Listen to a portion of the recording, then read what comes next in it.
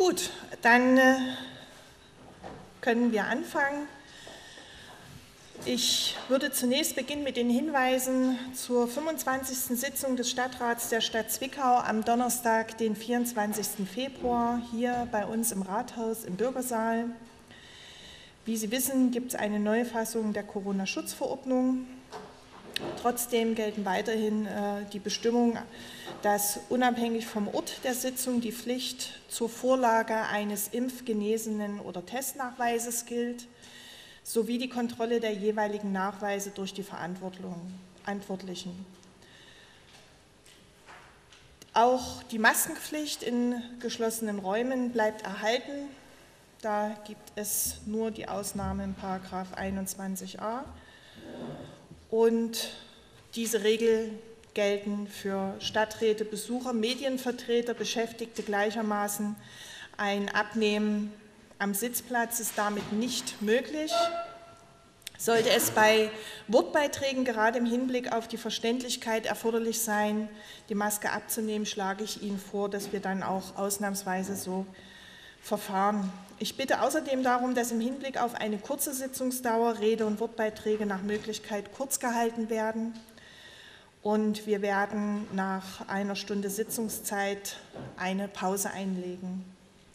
Des Weiteren gelten die üblichen Regularien, die wie folgt lauten. Bild, Film, Video und Tonaufnahmen aller Art sind generell nicht gestattet. Für das Rathaus insgesamt gilt, es dürfen keine lärmproduzierenden Gegenstände benutzt werden. Mit Ausnahme von einfachen optischen Sehhilfen wie zum Beispiel Brillen dürfen sonstige optische Sicht- und Vergrößerungsgeräte wie zum Beispiel Ferngläser nicht benutzt werden. Transparente Plakate und Banner sind nicht erlaubt. Das Zeigen von politischen Aussagen beispielsweise auf Kleidungsstücken ist nicht gestattet. Flugblätter dürfen im Rathaus nicht verteilt oder ausgelegt werden.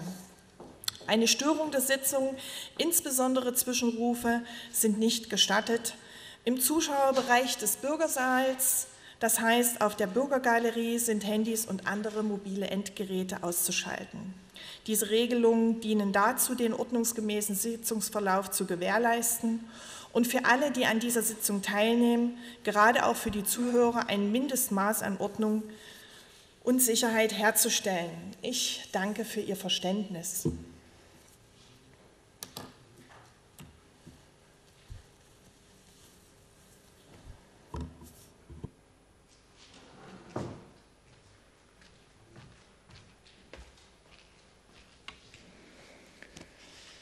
Aus gegebenen Anlass möchte ich auch die aktuelle politische Lage nicht ganz unkommentiert lassen. Noch vor einem Monat haben wir an die Opfer des Nationalsozialismus und des damit einhergegangenen Krieges gedacht. Heute, einen Monat später, finden wir uns in der traurigen Realität wieder dass auf europäischem Boden ein völkerrechtswidriger Angriffskrieg auf einen souveränen Staat gestartet wurde. Ich glaube, dass viele Menschen heute früh ungläubig und geschockt waren und uns das Datum des 24. Februars 2022 in trauriger Erinnerung bleiben wird. In Gedanken sind wir bei den betroffenen Menschen in der Bevölkerung, auf beiden Seiten der Grenze. Krieg bedeutet Angst, Leid, Rückschritt. Im Besonderen denken wir an unsere Partnerstadt Volodymyr und senden ein Signal der Solidarität in die Ukraine. Dort, wo wir helfen können, werden wir unterstützen. Im Namen der Stadt Zwickau, der Menschen, die hier leben, reihen wir uns ein in die Forderung, den Angriff auf die Ukraine zu beenden, die Souveränität des Staates anzuerkennen und zu einem friedlichen Zusammenleben zurückzukehren. Ich denke dabei an Kinder, die mit Angst und Bedrohung leben müssen, an Frauen, die um ihre Männer, Kinder, Väter weinen müssen, an die vielen Lebensläufe, die nun durch Krieg, auf unterschiedlichste Weise bedroht sind. Krieg kann nie die Lösung sein. Krieg hat keinen Gewinner. Das hat uns die Geschichte schon oft bewiesen. Nun möchte ich Sie bitten, sich von Ihren Plätzen zu erheben und damit den Opfern der kriegerischen Auseinandersetzung zu gedenken.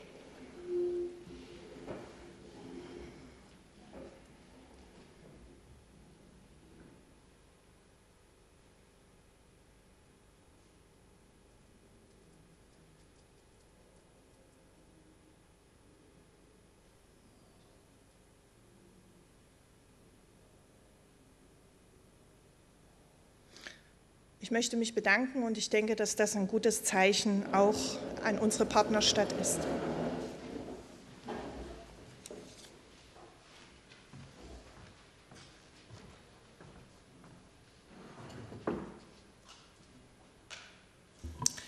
Meine sehr verehrten Damen und Herren Stadträte, nun begrüße ich Sie zur Sitzung des Stadtrats der Stadt Zwickau und eröffne hiermit die 25. Sitzung des Stadtrates. Ich lasse herzlich von Herrn Lasch grüßen, dem es soweit ganz gut geht und ich glaube, er wäre auch gerne lieber hier. Ich stelle die ordnungsgemäße Einberufung zur heutigen Sitzung fest. Bisher sind 39 Stadträte erschienen. Der Stadtrat ist damit beschlussfähig. Bisher entschuldigt sind Herr Heinzig, Herr Hahn, Frau Brückner, Herr Forster, Herr Findeis, Frau Wöhl, Frau Fischer und Herr Schwarz. Frau Kühn kommt später. Und natürlich freue ich mich, dass wir heute auch wieder einen schönen Moment haben, in dem wir Stadtrat Herrn Dürner zu einem runden Geburtstag gratulieren dürfen.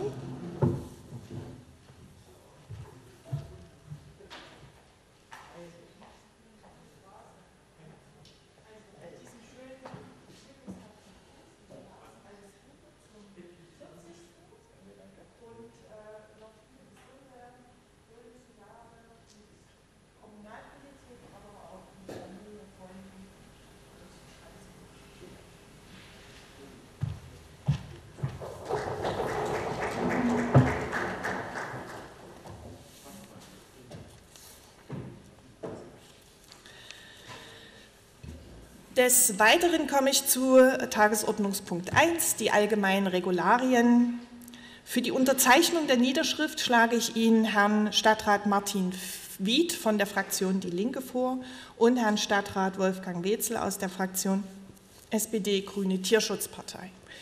Ich sehe keinen Widerspruch, somit ist das beschlossen. Ich mache auf das Mitwirkungsgebot gemäß 20 der Sächsischen Gemeindeordnung aufmerksam und bitte Sie, anhand der Tagesordnung zu prüfen, ob bei Ihnen zu den einzelnen Punkten der Tagesordnung Ausschließungsgründe vorliegen. In den Fällen, in denen bei einem Stadtrat Befangenheit vorliegt, bitte ich, dies vor Beginn der Behandlung dieser Angelegenheit öffentlich mitzuteilen. Wir haben Ihnen die Niederschriften über die Sitzungen des Stadtrates vom 28. Oktober 2021, vom 25. November 2021 und vom 27. Januar 2022 zur Kenntnis gegeben. Einwendungen liegen mir nicht vor und somit stelle ich Kenntnisnahme fest. Die Fraktion AfD hatte für die heutige Sitzung eine Kurzdebatte zum Thema 04 Bad angekündigt und äh, diese dann in die nächste Sitzung zum 31.03.2022 verschoben. Dies wurde uns äh, per Mail am 22. Februar mitgeteilt. Am 22. Februar hat nunmehr die Fraktion CDU-FDP eine Kurzdebatte zum Thema 04-Bad beantragt. Auch darüber haben wir per Mail am 23. Februar informiert. Die erforderlichen Unterschriften wurden mir zu Beginn der Sitzung vorgelegt. Die Tagesordnung, äh, die Einordnung in die Tagesordnung erfolgt unter Tagesordnungspunkt 6.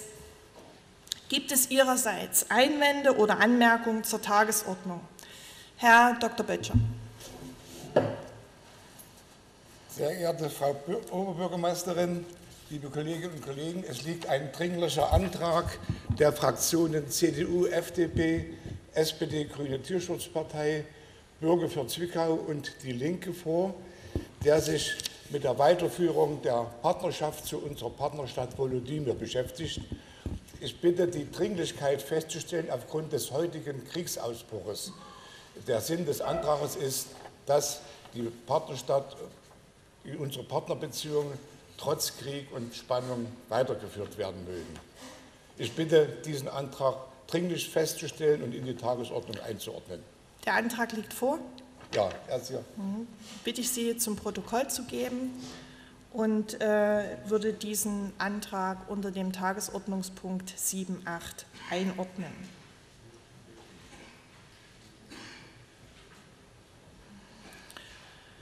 Weitere Anmerkungen zur Tagesordnung? Das sehe ich nicht. Dann äh, kommen wir zum nächsten Tagesordnungspunkt 2, Anfragen der Stadträte.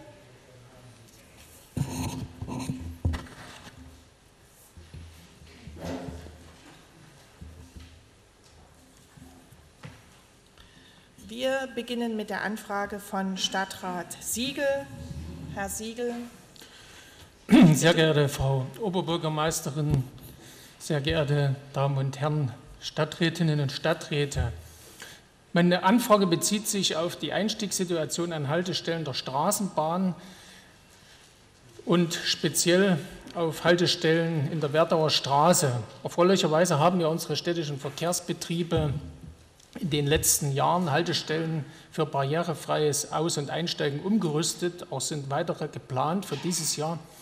Aber die Haltestellen Brunnenstraße, Stadtein und Stadtauswärts in der Werdauer Straße die von vielen Bewohnern der dortig umliegenden Einrichtungen für betreutes Wohnen und Pflege, beispielsweise sei die SSH Zwickau Wohnheim Werdauer Straße genannt, das Heim für geistig und mehrfach behinderte Menschen oder das ASB Pflegeheim und betreutes Wohnen in der Brunnenstraße. Des Öfteren kam es dort schon zu kleinen Unfällen und Stürzen, Verletzungen beim Ein- und Aussteigen, zuletzt am 2.2. Meine Frage, ist es möglich, die Haltestellen in der Brunnenstraße, also die Haltestellen mit, der Bezeichnung Brunnenstraße in der Werdauer Straße zeitnah umzurüsten, beziehungsweise gegebenenfalls deren Umrüstung vorzuziehen? Sehr geehrter Herr Stadtrat Siegel, Ihre Anfrage möchte ich wie folgt beantworten. Die Haltestelle Brunnenstraße wird am, im geplanten Zielnetz durch Busse bedient, die das Zweiachsennetz, die Stadtbahn nach Umsetzung der Querspanne über die barrierefrei ausgebaute Bahnhofstraße führt. Daher ist auch ein barrierefreier Ausbau der Straßenbahnhaltestelle Brunnenstraße bislang nicht vorgesehen oder geplant. Eine mögliche Ausstattung mit Busborden fällt in die Straßenbaulastträgerschaft und kann nach Umsetzung des Zielnetzes realisiert werden. Die nächste Anfrage wurde von Herrn Andreas Wolf gestellt. Ich bitte um Frage.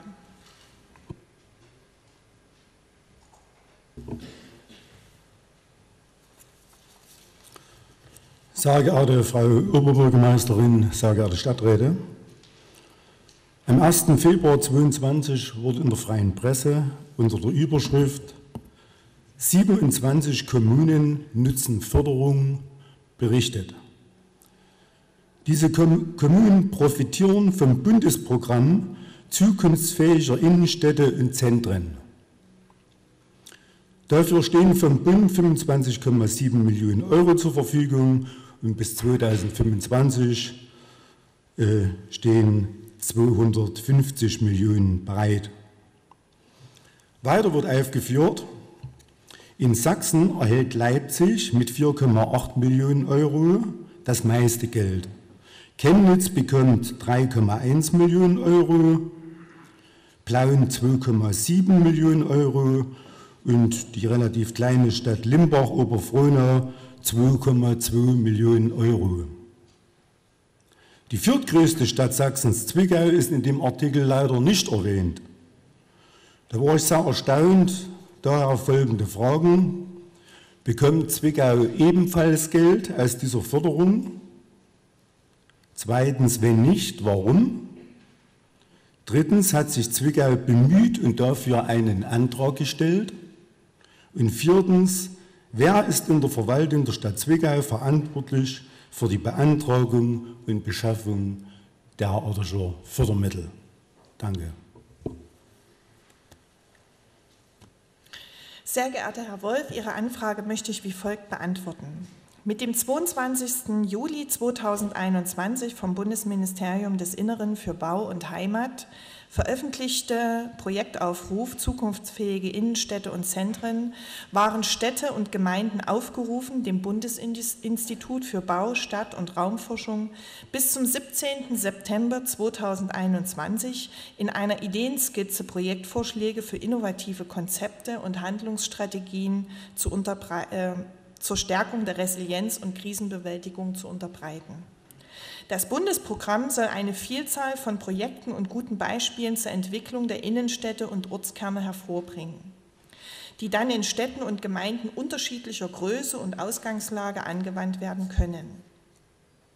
Dem ist die Stadt Zwickau gern gefolgt. Unter Federführung des Büros für Wirtschaftsförderung hat die Stadt Zwickau termingemäß eine umfangreiche Interessensbekundung mit dem Projektthema zukunftsfähige Innenstadt Zwickau, Transformation zu resilienten, smarten, multifunktionalen und lebendigen Innenstadt durch zukunftsweisende Innovationsfelder, Innovationen und zukunftsstraffende Permanent, Reallabore sowie vielfältige Kooperationen eingereicht.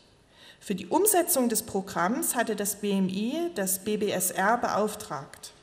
Der Projektaufruf sah vor allem die Förderung konzeptioneller Maßnahmen vor, mit denen die Weichen für eine nachhaltige Innenstadt, Zentren und Ortskernentwicklung gestellt werden mit denen die aktuellen Problemlagen vor allem durch die Auswirkungen der Corona-Pandemie nicht nur baulich ad hoc, sondern mit langfristiger Perspektive angegangen werden. Um jedoch schnell mit kreativen Ideen und neuen Partnern auch akute Leerstände zu beheben, werden förderseitig, anteilig, auch baulich investive Maßnahmen unterstützt. Die zentralen Stadtbereiche sollen damit als lebendige und attraktive Orte für Handel, Gewerbe, Bildung, Kultur, Wohnen oder Freizeit weiterentwickelt werden. Wie uns nach Prüfung der eingereichten Unterlagen mitgeteilt wurde, ist der Projektaufruf insgesamt unter den Kommunen erfreulicherweise auf sehr großes Interesse gestoßen.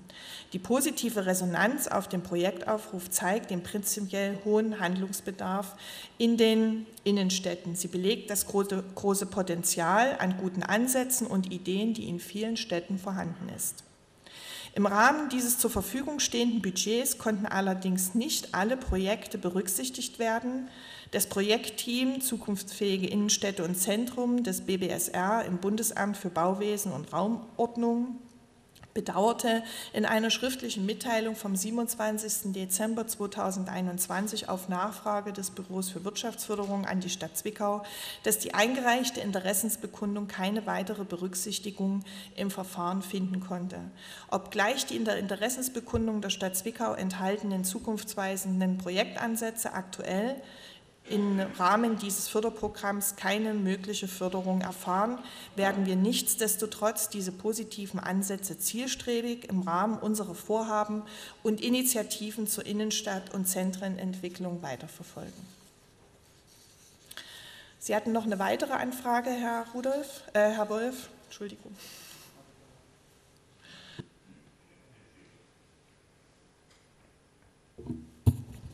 Ja, ich habe noch eine zweite Frage. Äh, und zwar am 20. Januar war ebenfalls in der freien Presse zu lesen, Bestattungsdienste sollen einen Neubau erhalten. Im Haushalt taucht dafür das Vorhaben mit 510.000 äh, Euro auf. Zudem muss noch ein passendes Grundstück gefunden und erworben werden. Ziel soll die pietätvolle und moderne Anlaufstelle für Hinterbliebene sein.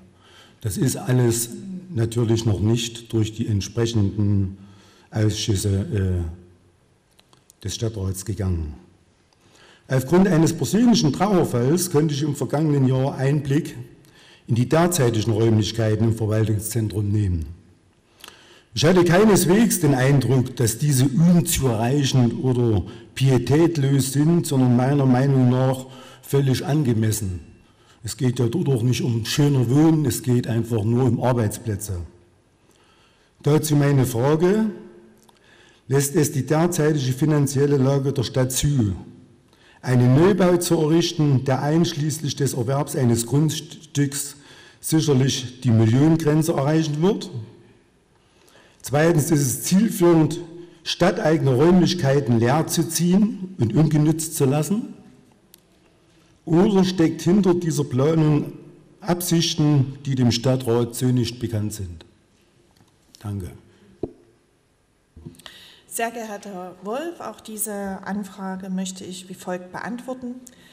Die Bestattungsdienste Zwickau sind ein Betrieb gewerblicher Art. Sie finanzieren sich selbst durch ihre Einnahmen. Dazu gehören auch alle notwendigen Investitionen. Der städtische Haushalt wird nicht zusätzlich belastet.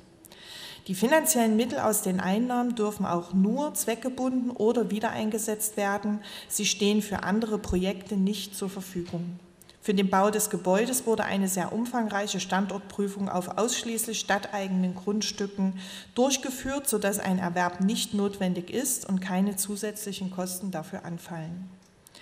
Die Bestattungsdienste sind derzeit im Haus 4 im Verwaltungszentrum zur Miete untergebracht. Die Räumlichkeiten entsprechen in ihrer Größe und Ausstattung nicht den gegenwärtigen Anforderungen. Mit sehr hohem Engagement gleichen die Mitarbeiterinnen diese Defizite aus. Der Aufenthalts- und Wartebereich für die Hinterbliebenen befindet sich auf dem Flur, der auch als Zugang zu anderen Dienststellen und Ämtern genutzt wird. Die Räume selbst sind renovierungsbedürftig, notwendige Reparaturen und Instandhaltungsleistungen, unter anderem Fußbodenbereich, wurden mehrfach aufgeschoben. Nach Auszug können die Arbeiten ausgeführt und der Bereich für andere Dienststellen, von denen bereits Bedarf angemeldet wurde, bereitgestellt werden. Ein Neubau für die Bestattungsdienste Zwickau ist seit Jahren im Gespräch. Das Haus 4 im Verwaltungszentrum war von Anfang an eine Übergangslösung.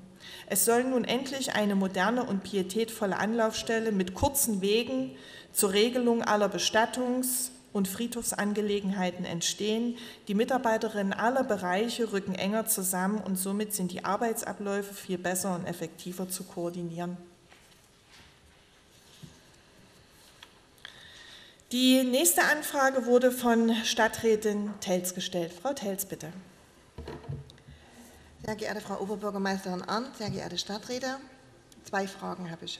Die erste, die monatlichen Stadtratssitzungen werden durch TV Westsachsen Television Zwickau GmbH aufgezeichnet. Dort kann man in einer Mediathek sämtliche Sitzungen ansehen. Meine Fragen. Werden diese Aufzeichnungen noch an anderer Stelle archiviert? Und sollte oben genannte Mediathek nicht mehr existieren, wer hat dann die Rechte an den Aufzeichnungen? Sehr geehrte Frau Telz, die Stadtverwaltung erhält von und nach jeder Stadtratssitzung einen entsprechenden Mitschnitt, sodass diese unabhängig von Television Westsachsen dauerhaft vorhanden sind. Ihre nächste Frage bitte. Gut, dann die zweite. Äh, immer wieder bekomme ich Anfragen von Bürgern, wieso die Hundesteuer so hoch ist in Zwickau. Gerade in dieser pandemischen Situation ist es für ältere, alleinstehende Menschen mit geringer Rente wichtig, eine Aufgabe und einen Lebensmittelpunkt zu haben. Natürlich gilt das auch für Hundehalter. Die Hundesteuer in Zwickau ist aktuell 120 Euro für den ersten Hund. Bei zwei Hunden beträgt er je Hund 156 Euro, bei drei Hunden pro Hund 168 Euro und für sogenannte Listenhunde je Hund 720 Euro im Jahr. Leider ist diese Steuer nicht zweckgebunden, sondern dient der Finanzierung kommunaler Aufgaben. Meine Fragen. Wie viele steuerpflichtige Hunde sind in Zwickau angemeldet? Wie hoch sind die jährlichen Einnahmen durch diese Steuer? Und für welche Zwecke werden diese Einnahmen verwendet? Danke. Sehr geehrte Frau Telz, Ihre Anfrage möchte ich wie folgt beantworten. Zum Stichtag 1. Januar 2022 sind in Zwickau 3609 Hunde gemeldet. Die jährlichen Einnahmen sind leicht schwankend. Die Steuerfestsetzungen bewegten sich in den letzten fünf Jahren zwischen 444.000 und 471.000 Euro. Wie Sie bereits zutreffend ausgeführt haben, sind Steuereinnahmen nicht zweckgebunden. Daher gehen sie in den Gesamthaushalt der Stadt Zwickau ein. Konkrete Verwendungszwecke können aus diesem Grund nicht genannt werden.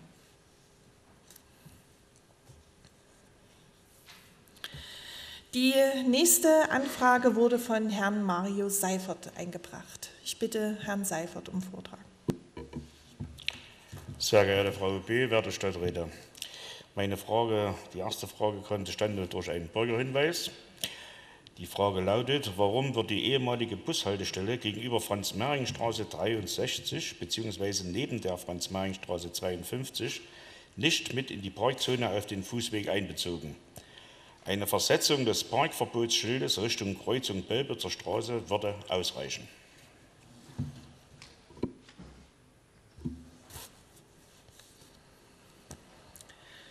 Sehr geehrter Herr Seifer, diese Anfrage möchte ich beantworten.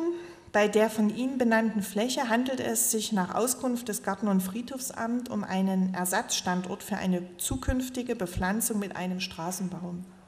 Aus diesem Grund wurde von einer Ausdehnung des Parkens auf diesen Bereich abgesehen. Sie hatten eine weitere Anfrage? Meine zweite Anfrage äh, ist eigentlich eine Nachfrage zu einer OB-Anfrage. Kurze Erläuterung dazu. Vor der vierten sächsischen Landesausstellung 2020 wurde der Bahnhofsvorplatz kurzfristig und kostengünstig teilweise aufgewertet. Bei dieser Maßnahme, finanziert aus Fördermitteln zur Landesausstellung 2020, wurde eine digitale Informationstafel installiert. Meine Fragen waren in der ersten Anfrage, wer für gezeigte Inhalte verantwortlich ist und ob die Stadt durch dort gezeigte Werbung Einnahmen hat. In der Antwort stand, ein Teil der nicht kommerziellen Inhalte stammt aus dem redaktionellen Umfeld von Comedia Konzept. Doch im nächsten Satz wurde eine kommerzielle Nutzung ausgeschlossen. Diese Sätze widersprechen sich.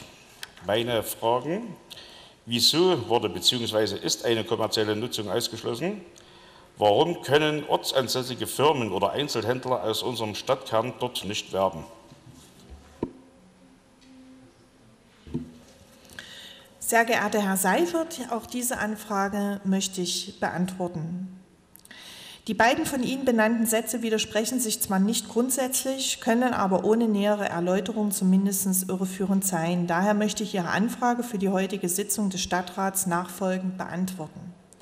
Erstens, einen Teil der nicht kommerziellen Werbung steuert die Firma Comedia Concept selbst bei, den anderen nicht kommerziellen Teil die Stadt Zwickau. Die Stadt weist auf eigene kulturelle Veranstaltungen und aktuelle Geschehnisse aus der Verwaltung hin, wie zum Beispiel Weihnachtsmärkte, Jugendbeiratswahl und so weiter. Die Comedia Concept steuert für seinen Teil unter anderem Wetterinformationen oder aktuelle Corona-Hinweise bei. Es handelt sich also hierbei um zwei Bestandteile, welche beide nicht kommerziell sind. Errichtet wurde die Anlage von der Firma Comedia Concept auf eigene Kosten und ist demnach nicht mit Fördermitteln zur Verschönerung des Bahnhofsvorplatzes untersetzt.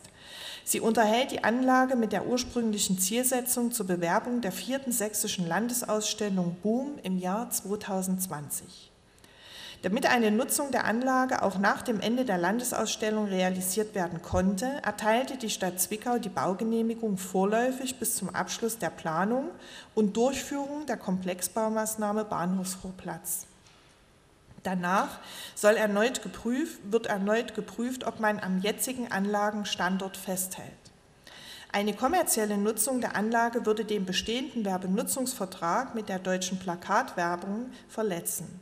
Daher ist die Nutzung durch die Firma Comedia Concept auf das Bereitstellen von Stadtinformationen und allgemeinen Informationen beschränkt, welche keine kommerziell, kommerziellen Ziele verfolgt. Die nächste Anfrage wurde eingereicht durch Herrn Stadtrat Otto. Ich bitte Herrn Otto bitte. Ja, ich zitiere auch wieder mal aus unserer Heimatzeitung der Freien Presse, die ist ja sehr informativ und da kommen auch dann Sachen äh, zutage, die auch manchmal nicht so toll sind, äh, wie zum Beispiel, dass das BUS äh, Digitalfunknetz in Wilke-Haslau wohl sehr schlecht funktioniert. Das ist also das, wo die äh, Katastrophenschutz, Feuerwehr, Polizei, Rettungsdienste äh, sagen wir mal, ein unabhängiges Netz äh, haben, um im Extremfall sagen wir, autark äh, sagen wir, die Verbindung und Versorgung aufrechtzuerhalten. Und da sieht es dort wohl mit dem, mit dem Netz nicht so toll aus. Also der Empfang ist schlecht und äh, da das sagen wir nicht so weit weg ist und Zwickau naheliegend ist, würde mich interessieren, ob wir in Zwickau ähnliche Probleme haben und äh, wie da auch der Sachstand ist, sagen wir, bei unserer Feuerwehr und bei unseren Einsatzdiensten und wenn es da Probleme gibt, ob man da schon was unternommen hat oder was da auf dem Weg ist, um das zu verbessern.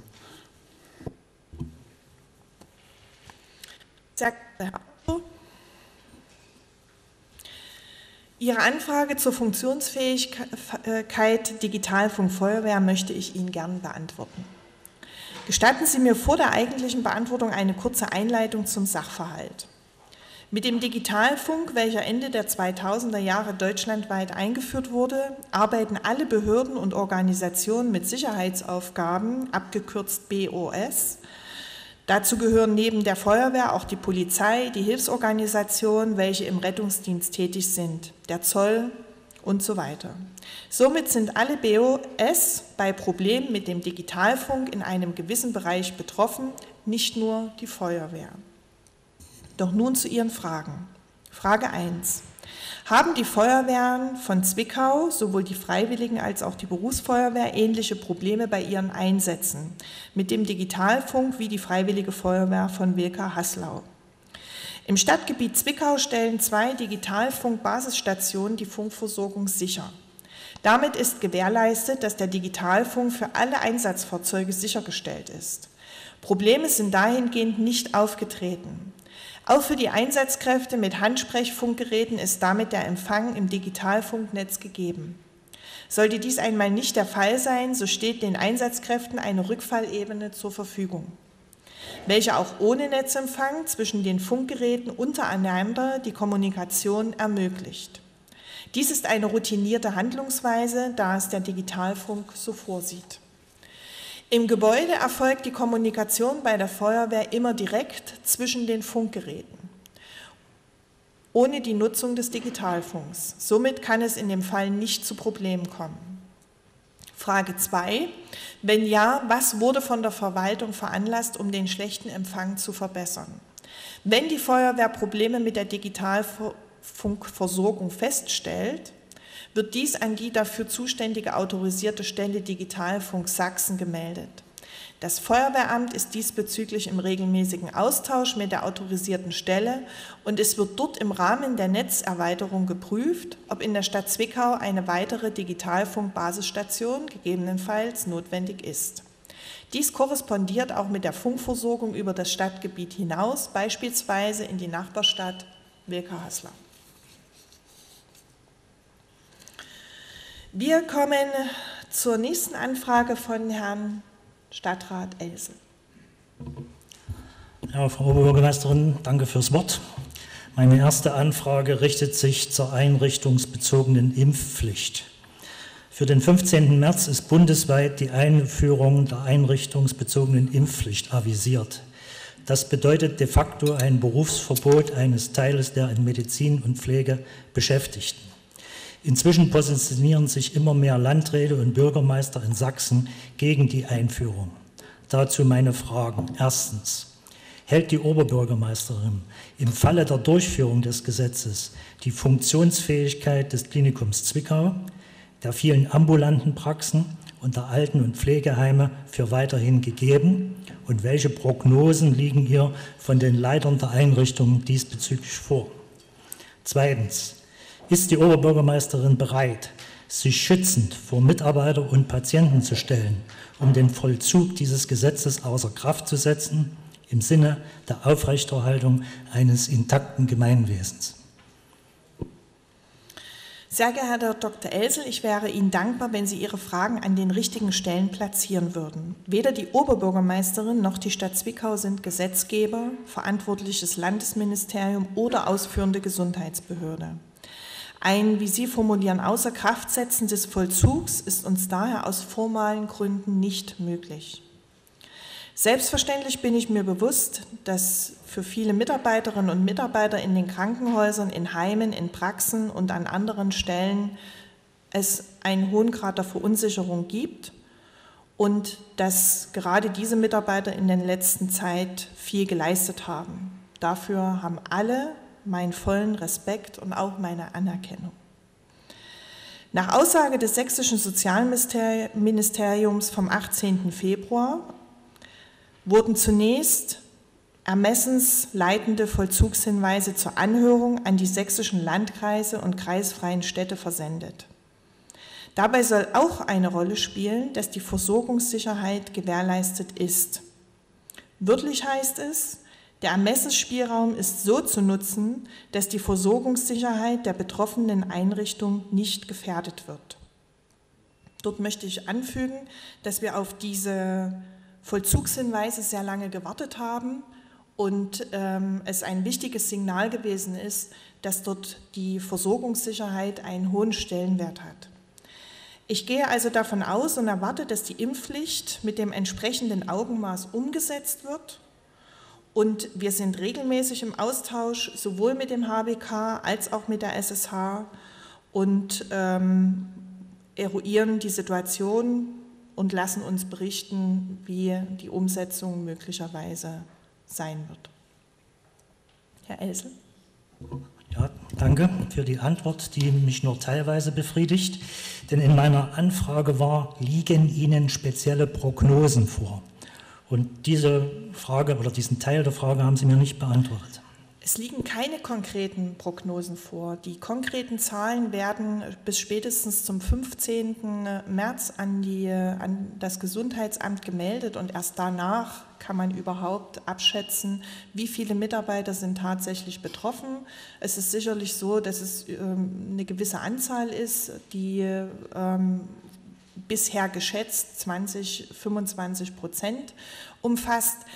Ob dadurch eine Gefährdung der Versorgungssicherheit alleine gegeben ist, das kann ich nicht beurteilen, denn entscheidend ist, wie die Gesundheitsbehörde damit umgehen wird. Und da handelt es sich um einen etwas längeren Prozess. Das sind äh, jeder einzelne Mitarbeiter ist dann ein eigenes Verwaltungsverfahren und ähm, da wird auch nicht am 16. März ein Mitarbeiter vermutlich mit einer Verweisung rechnen.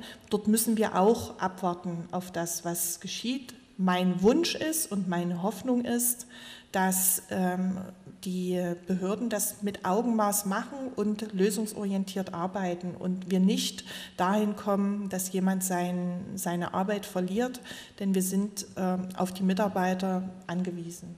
Sie sind ja wichtig. Mehr kann ich dazu nicht sagen, Herr Dr. Elsel.